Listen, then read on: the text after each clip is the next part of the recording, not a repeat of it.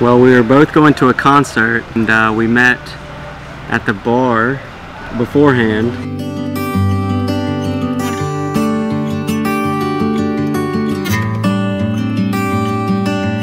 I wasn't impressed at first, but he, he won me over. At the bar, there was a banner and it said Corona, but it was missing the C.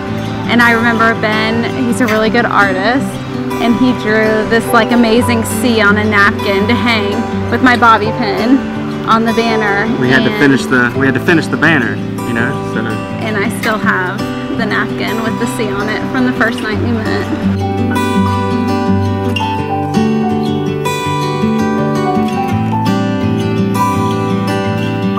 I need Valerie the most um, when life kind of gets a little crazy, um, when it seems like it's all unwinding. Um, she's the rock that calms me down, that gives me motivation to keep moving forward, that everything's going to be all right. Um, so she's the, the constant that I need in my life. I need Ben the most, the most on the bad days. And the good sometimes. Always on the good, but the most on the bad days. Just someone who will you always just sit there and listen and just let me vent and then and then I feel so much better. And I think that's really special to have someone who will constantly hear your frustrations and, and help you through them.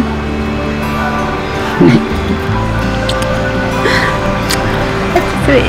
The last time we cried together, we were watching a movie in bed um, called A Case for Christ. And at the end, when when the dad, the skeptic, the husband, um, finally gave in and he got on his knees and started praying.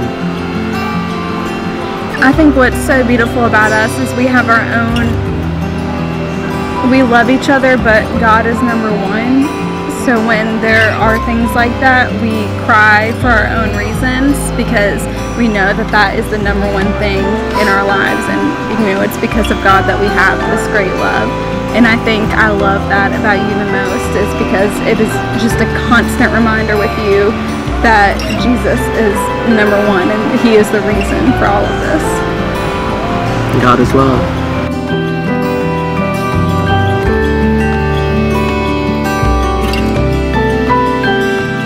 I I promise to be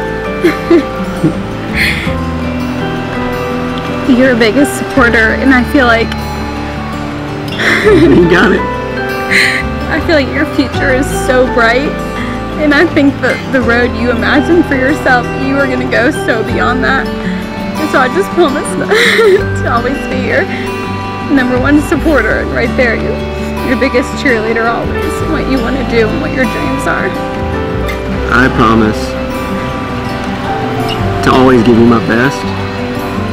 I know some days won't be my absolute 100%, but I promise to give you my every effort in what I do and what we do together. Um, yeah.